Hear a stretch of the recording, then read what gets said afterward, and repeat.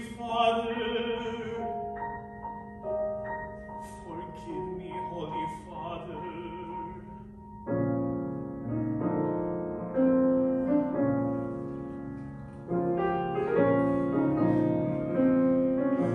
I've been told over and over that words of sin kills the life of grace.